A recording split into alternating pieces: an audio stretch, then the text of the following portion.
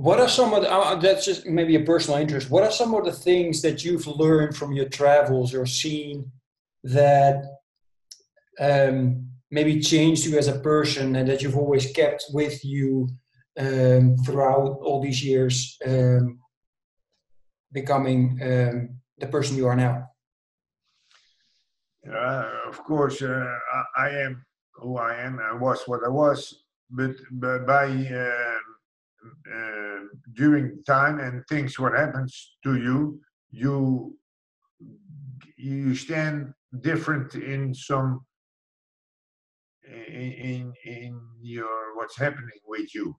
For example, uh, with wives or women, I always uh, when I had a girl, uh, when they make a problem or when they argue, when they da da da, and then I say goodbye because I, I don't want to have headache. I'm taking another girl and I go with somebody else. That was how I was in my younger years.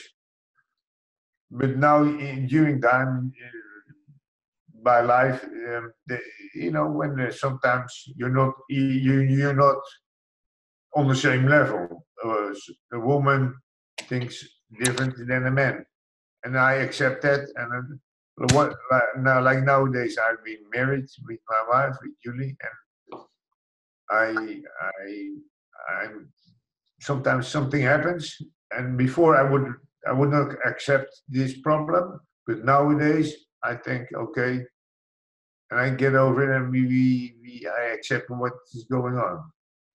Mm-hmm. Right Nice. Okay. Well, we'll go a little bit more in, in, in regards to uh, relationships with uh, uh, with women in a little bit, as well, especially in regards to your marriage. Are you still meeting up with your friends now that you're a father?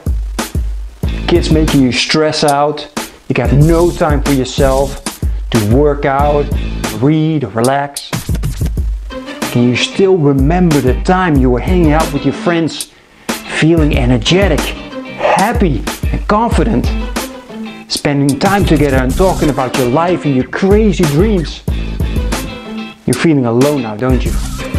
No one to share your challenges with, and you're just running around from one storm into the next. Well, it's time to change this now. Join me and the Brotherhood of Fearless Fathers to speak on a weekly basis with like minded dads to crush your challenges Face your fears with determination. Be held accountable and regain control of your life. If you want to become the hero your family needs you to be, then go to becomeafearlessfather.com slash brotherhood. Looking forward to seeing you on one of our next calls.